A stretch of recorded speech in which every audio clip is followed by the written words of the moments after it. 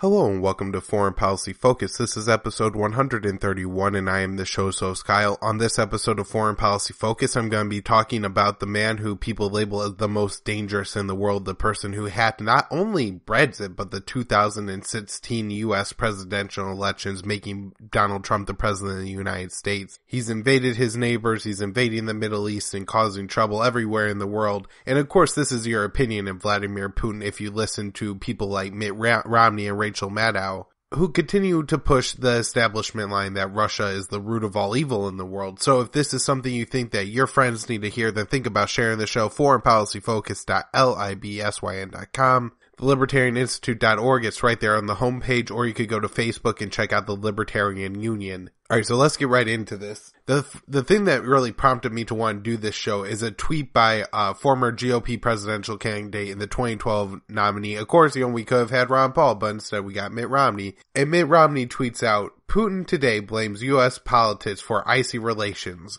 get real. It was Russia invading sovereign nations, propping up dictators, hacking elections, abusing human rights, and cheating at the Olympics. Now, this isn't satire. This is real. I, I, swear this is Mitt Romney's verified account. It's not, you know, Mittens Romney 39 who's making this up to, in order to mock Mitt Romney, who was famously much more hawkish than Obama during the 2012 campaign. And really, uh, if you remember the soundbite where Donald Trump, I believe then said to then Russian President Medvedev that he would have more room to negotiate on some of these, uh, United States missiles going up in East Europe after the election. And this was something that Mitt Romney really played on and wanted to use against Obama to become president, and this led to him, you know, fear, uh, starting up all this hate mongering and, and, fear against Obama and the Russians and all that, which continues to this very day. Now, this was one thing noticeably that the Trump campaign lacked. It, it wasn't this hatred of Vladimir Putin that Hillary Clinton also ran on. It wasn't claiming that Vladimir Putin is the most evil man in the world, looking to recreate that USSR and sneakily find a way to undermine and I guess obliterate the United States in a nuclear war or something insane like that. And so Donald Trump ran against that. He was like, nah, I could get along with Putin. Putin seems like an alright guy. Now I'm guessing that Donald Trump was probably doing this to in part sound more right wing, but also just to infuriate the, the left, who, as Hillary Clinton was uh, during the presidential campaign, went absolutely insane on the Russia issue. Rather than having some kind of moderated, uh, realistic view of what's gone on between the US and Russia, the establishment left adopted this absolutely satirical McCarthyite perspective where Vladimir Putin organized a stable of elector, ele, uh, uh, hackers that not only had the DNC and Podesta emails, but also was able to hack the U.S. election and undermine it with a hundred thousand dollars of Facebook ads. Of course, most of those Facebook ads right after the election. And this is, you know, who they pretend is the ultimate evil in the world.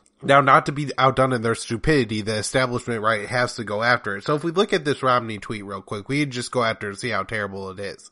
First off, you know, saying Putin blames the U.S. for icy relations. It's not like this is the first uh, time that some one side or the other here has blamed the other for their problems. The United States has long blamed uh, Russia and said that Russia must pull out of the uh, Crimea Peninsula before the United States will even negotiate with Russia on anything has basically blamed Russia this whole time. So it's not like Mitt Romney is like taking a breaking story here or being the first American to claim that, oh no, it's the Russians that started this. America always claims the other side starts it, but especially in this one, they've been, they've been going off it the whole time.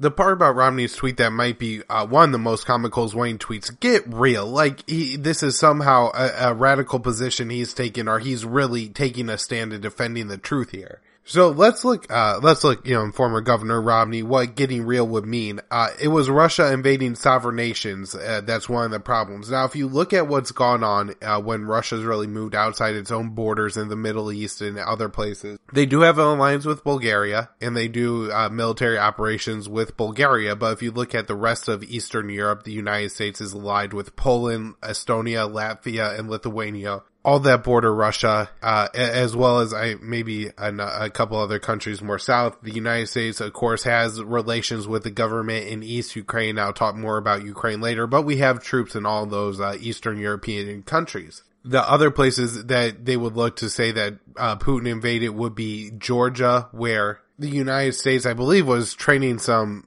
jihadist linked people there who ended up coming down into Syria, most notably Ar- uh, Omar the Chechen, who was the field commander for ISIS when they're on their big blitzkrieg taking a bunch of cities was trained by the United States and obviously was a, a, radical jihadist and he was kind of fighting in that area and was trained for that reason. So if you look at the, you know, Russian intervention there, it's certainly problematic. I don't agree with any interventionism, but the United States was also propping up jihadists on the other side. The other place would probably be Syria where Russia was obviously invited and then the Ukraine where in 2012, while, you know, Mitt Romney criticizes Putin later in the, the tweet for cheating at the Olympics, while Putin was in Sochi cheating at the Olympics, uh, you, United States, you know, political pundits and even Victoria Nuland were laughing as they plotted a coup in Ukraine to try to get Ukraine into the NATO orbit and to accept a loan from uh, Western countries rather than from Russia and possibly even join NATO are all the things that they were trying to do uh, while Putin was over on the other half of his country enjoying the Olympics.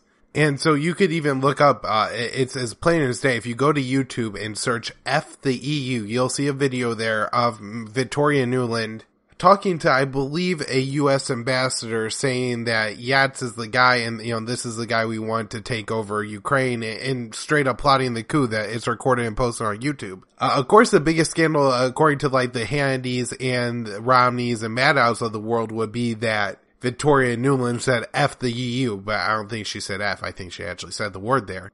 Yeah, and to them, you know, it was real insulting to have a high ranking Obama official say this uh, about the EU, but at the same time, she was planning a coup in Ukraine, which I probably shares the largest border with Russia and Eastern Europe and is seen as one of their key allies. In fact, I believe on the Colbert Report, somebody for, from the CFR later bragged that they were kind of stealing away Russia's girlfriend while Putin was over in Sochi enjoying the Olympics. And then if you look at what America's done in contrast in invading sovereign nations, uh, you only have to Afghanistan, Iraq, Syria, where they are uninvited compared to Russia as invited by the Syrian government. Uh, to some extent, you could argue, you know, the U.S. is invading Somalia and Libya.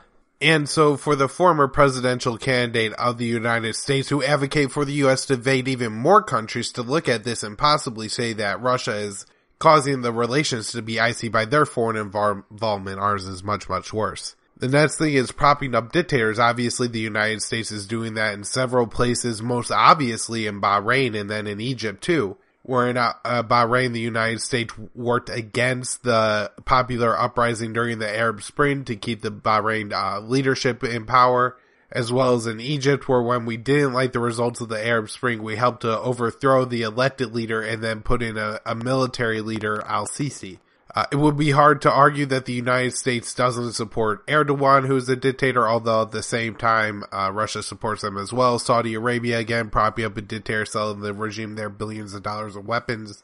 Same with the UAE, where we're selling the royal family billions of dollars of weapons. Qatar, uh, we've attempted to prop up the, the dictator Hadi in, in Yemen. So you look all over the world in five places. Uh, in the case of Russia, you could really only find one in that, that really being Bashar al-Assad, and then maybe they argue the Ayatollah or something like that. But there, there's not a whole lot of Russia involvement in Iran or even North Korea, which Russia shared a border with. And so again, if you're looking at a side to blame, you had to be completely one-sided. You had to be completely unable to see the world in anything but an American perspective to possibly believe that Russia is propping up more dangerous dictators around the world and causing more problems.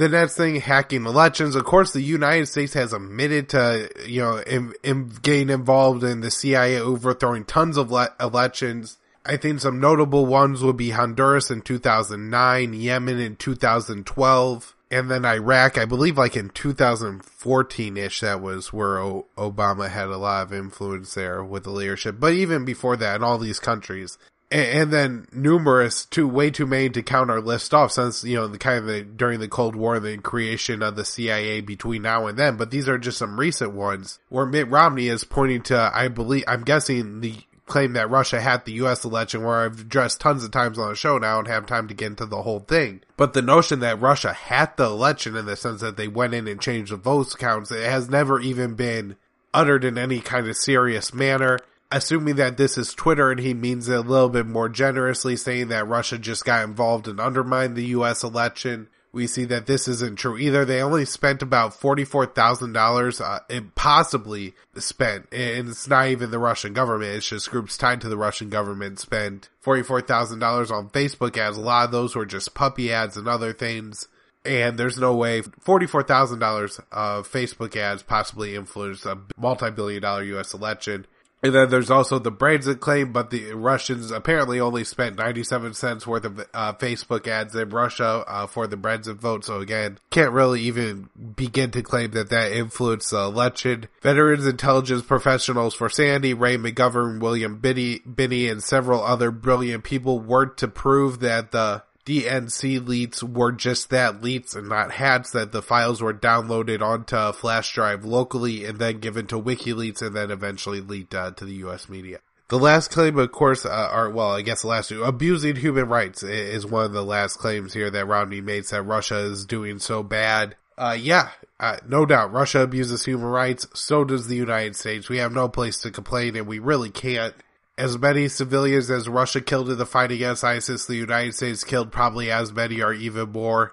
The United States is working with Saudi Arabia to commit genocide in Yemen. No, really, this is actually happening. They're trying to starve the entire country to death. The United States backed Al Qaeda in both Syria and Libya, but particularly in Libya, they turned that state into a rape state and a slave state. So absolutely terrible things the United States has done, as well as, you know, Guantanamo torturing people, Obama not having the courage to prosecute those responsible, and the way that we treat our own civilians on a day to day basis. I mean, you know, roll back a couple episodes and listen to my show on the Daniel, uh, execution Daniel Shaver. Where I go through how the police officers are willing, are able to just kill people in this country, and that certainly has to be considered a human rights violation. The last thing that Mitt Romney pointed to here was uh, that the Russia was uh, cheating at the Olympic Games. I don't see how this really matters uh, in international relations. I mean, maybe it makes Russia look kind of bad, but at the end of the day, I mean, if you're the president of the United States, you're not saying to Vladimir Putin, well, we would be willing to get rid of all of our weapons, but because you that. And so that's uh, my take on that Romney tweet. As you can see by my rant there, it really uh, just upset me. The fact that the, these people can be so dishonest, and in, in the case when they're emphasizing additional honesty, he's like, get real. I'm going to tell you the real truth here. And it's just absolutely not the case like I said, you could point to Russia doing all these things, but the United States does them many, many times over to what, to the extent that Russia does. And so for Mitt Romney to say that this is the reason that U.S. and Russia relations are bad is absolutely ridiculous hopefully this will lead to Mitt Romney's, you know, just generally being mocked because he's obviously a doofus and an idiot. Only a moron could look at the situation in the world for the past 15 years or so, uh, from the position of Mitt Romney at least, who is somebody who's, you know, supposed to have studied all this stuff. He's the, you know, t- former governor of Massachusetts, potential future Senate candidate, and then 2012 Republican nomination, uh, nominee how he could look at everything that's going on and say that it's the Russia's fault that the relations are bad is just absolutely insane. Either that or he's just being straight up dishonest and is a liar. Some other things going on in the news with Mr. Putin is that he made a trip to the Middle East. He went to Turkey first, where Erdogan gave a statement supportive of the Palestinians and denouncing Trump's recognition of Jerusalem as Israel's capital. Putin stood on stage next to Erdogan as he made this statement, so I think that's pretty significant move for uh, Putin. He then went to Syria and announced the withdrawal of a large portion of the Russian troops in Syria and declared ISIS defeated. Obviously, the declaring ISIS defeated is a premature. I don't think you could actually really defeat the Islamic State unless people just stop calling themselves Islamic, Islamic State. But the Sunni, Sunni insurgency across the Arab world will continue to go on as long as these imperial powers continue to bomb these places. And then Putin went to Egypt and announced that uh, the Russians are lending the Egyptian government money to build a nuclear power plant. And so all these moves I think are very important just to look at and see how Putin is actually portraying himself to the people of the Middle East. I think this looks to be to be a move where Putin, Putin is really looking to get gain a lot of soft power in the Middle East. Of course, the United States and their Arab allied leaders, uh, the United States recognize the Jerusalem as the Israeli capital and the allied leaders to the United States have been more quiet than the unallied leaders to the United States minus Erdogan, who kind of uh, adds on his own in his own order anyways, but the, you know, Saudis and the Emiratis aren't out there denouncing the move like Erdogan is. And of course, Putin stands behind Erdogan while he says this. I think, you know, having this about meaning of, you know, Russia standing behind that statement. If you're somebody in the Middle East, uh, most everybody supports that statement that Jerusalem can't be made the capital of Israel is, it would destroy the possible two state solution. It's gonna see that as a good thing. The troop reduction in Syria, if you look at what the United States is doing in Syria, where they're uninvited and they're saying even though ISIS is defeated, we're not gonna leave and Russia is saying, well, ISIS is defeated, so now we're leaving. Uh, that, that does seem to me that if you're somebody in the Middle East and you look at, well, if we have a problem, the Americans are going to come over here and they're going to put their troops where we don't want them and they're never going to leave and they're going to make the mess worse. But Russia, I think, is trying to set an example that, hey, we'll come and help, we'll defeat the bad guys, and then we'll go home. Even if that's not ultimately what they end up doing, which I, I doubt it is. And I think that, you know, Russia killed a lot of Syrian civilians and that's a real problem. However, I, I think this is good optics for Trump or for Putin. And then too, we had the United States and Russian, I believe US F-22s and Russian probably Su-35s having uh, some interceptions there over Syria. Uh, the fact that this ridiculous stuff is still going on when ISIS is all but defeated makes absolutely no sense, I'm sure, to anyone. And Egypt with the building of the nuclear reactor, I mean, it seems to me that Putin is definitely trying to win, you know, to quote the neocons, the hearts and the minds of the people of the Middle East. And rather than doing it all with bombs, uh, using some soft power here and standing by popular ideas is definitely a better way to do it than the United States has done it. Not, you know, that I'm signing off on all of this, and I like again don't think Putin's a great guy. However, I I do think these moves are interesting in contrast to the United States moves, which is you know keeping the troops in Syria there even though they're unwanted and starving all the Yemeni to death. One thing that the United States is very willing to export to the rest of the world, and this again doesn't make sense when Mitt Romney is blaming Russia for all their foreign interventions that the United States apparently in 2017 sold the world 58% of all the, all the global weapons. And so I don't even think this counts as the weapons that the United States is just giving away, like they announced they're giving the Lebanese army more helicopters. But we're just flooding the world with weapons. And then if anybody else sells anybody a weapon, we flip out if we're not absolutely approved of it. For example, the United States now is claiming that uh, they have proof that the missiles fired from the Houthis at Saudi Arabia were Iranian missiles.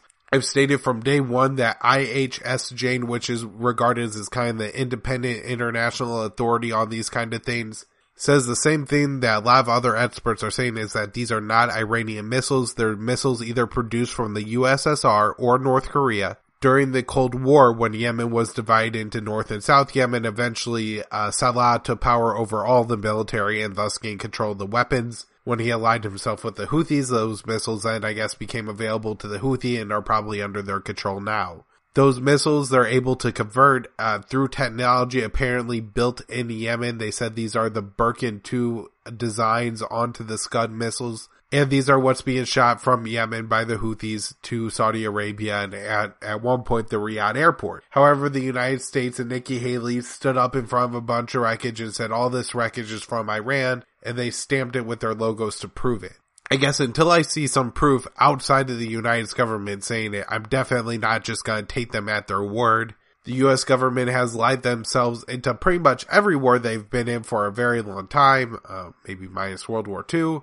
And so I think there's very good reason to be skeptical of the claims that Nikki Haley is making. Reason that Nikki Haley making these claims is so important is that because now the House is looking at putting sanctions on Iran for arming the Houthis and we also have Trump saying that the, or not Trump saying, but uh, two months ago, Trump gave his speech on Iran and gave them 60, the Congress 60 days to change the nuclear deal. This hasn't happened. That 60 day deadline has expired. So I guess by what Trump said back then, he should now be decertifying the Iran nuclear deal, but I guess we'll see what happens as time goes on. And so I guess just the idea of what's going on in Yemen, how even if the Iranians are giving the Houthis weapons, how this could be any sort of real problem. Right now, the Yemenis are completely blockaded. They're being deprived of food aid. They're being deprived of fuel. They're being deprived of medications. There's a, a cholera epidemic going on. There's a famine going on. There's a civil war going on. This is basically hell on earth right now. People are dying of every which way everywhere. Hospitals are being destroyed. Roads, bridges are being destroyed. And this is all happening because of the United States and Saudi Arabia. And so if the Iranians did give the Houthis a missile, this in no way justifies what's happening in Yemen or any U.S. involvement in the Yemen war at all. Just beside, because one side isn't completely innocent doesn't mean the Saudi side isn't completely guilty of trying to carry out a genocide. On top of that, uh, just to add all of it, we had the, a big, a couple big reports, or I think one big report with a couple big conclusions. And that is, I guess, a weapons expert had officially tracked U.S. weapons going through a Syrian rebel group and ending up in the hands of ISIS. So for everybody who called me a kook in the past couple of years, I told you so on that one. And also one of his conclusions was that ISIS uh, had a lot of their own weapons making facilities and I guess altered a lot of weapons that they were able to get. And this was one of the reasons they were so successful in urban war- warfare. It'll be interesting to see if other insurgencies now become more successful because once this information and technology is out there, I would imagine it's going to be somewhat easy to replicate. There's some pretty significant news going on in North Korea. First, we had Rex Tillerson coming out and saying that the United States will engage in talks uh, with North Korea without a North Korean agreement to give up their nuclear weapons. This would be a huge step towards making actual diplomatic games with North Korea, but the White House came out and put the kibosh on that. Doctors Without Borders has announced that 6,700 Rohingyas were killed when Myanmar started an ethnic cleansing campaign in August. That campaign lasted for about a month. In Yemen, just some updates. The Houthis are looking, are moving closer to forming some kind of a deal with the forces loyal to the former president Saleh. This would uh, hopefully end a lot of fighting in Yemen. Also, part of this is that we had the Houthis agree to release a lot of journalists who were being held as they were believed to be loyalists of the former president Saleh. Saudi Arabia bombed a prison in Yemen. The interesting thing is this prison was filled with prisoners of uh, loyalists to Saleh, which would realistically, I guess, at the last time they declared allegiances, would be allegiant to Saudi Arabia because that's who uh, was supporting Saleh at the end. But Saudi Arabia destroyed this prison.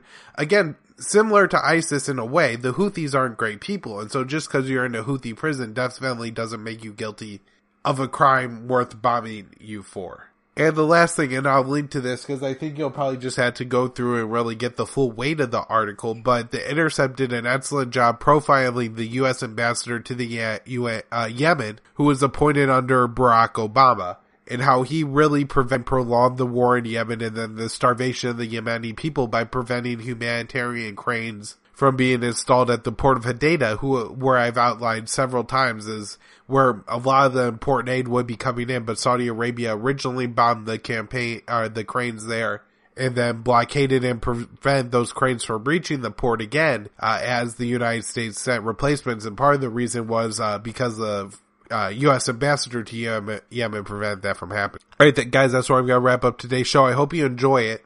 Uh, let me know. Uh, coming up, I guess I'm going to be doing some year-end shows. We're about halfway through December now. And what you would like to see in like a year-end show, uh, a wrap-up of some kind of uh, thing, or or what can we do here that would be interesting to everybody? So let me know.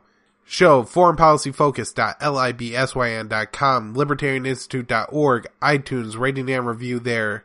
Libertarian Union on Twitter. Uh, great guys there. I really enjoy being a part of that group. Uh, always insightful, always great podcast. So check that out on Twitter at KYAAALE and uh, the, the website is kylesfilesblog.com. Thanks everyone.